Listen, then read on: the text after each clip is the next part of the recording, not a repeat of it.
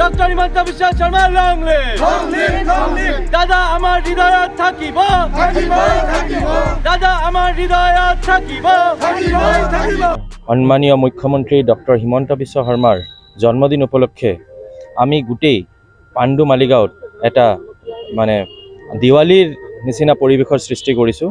ইয়াতে লাইটনিং মানে আপোনালোক আপোনালোকে ইভিনিং আহিলে দেখা পাব। গোটেই পাণ্ডু মালিগাঁও তথা আমাৰ যিটো হাই মানে হাইৱে গোটেই আমি লাইটেদি ভৰাই দিছোঁ।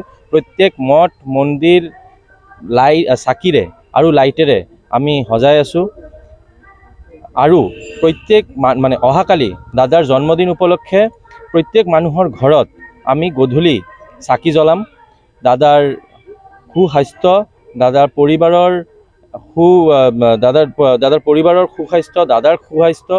আজি আমালোকে ৰাতিপুৱা স্বচ্ছ ভাৰত অভিযান কৰিলোঁ আমালোকৰ পাণ্ডু অঞ্চলত আৰু অলপ পিছত আমালোকে গছপুলি ৰুম ইভিনিং সন্ধিয়া কালচাৰেল প্ৰগ্ৰাম থাকিব আকৌ অহাকালি ৰাতিপুৱাৰ পৰা যজ্ঞ হ'ব শিৱ শক্তি যজ্ঞ ৰেষ্ট কেম্প কালীবাৰী মন্দিৰত Don't forget to like, share, and subscribe to East Mojo. For any queries, put them down in the comments section below and press on the bell icon for notifications.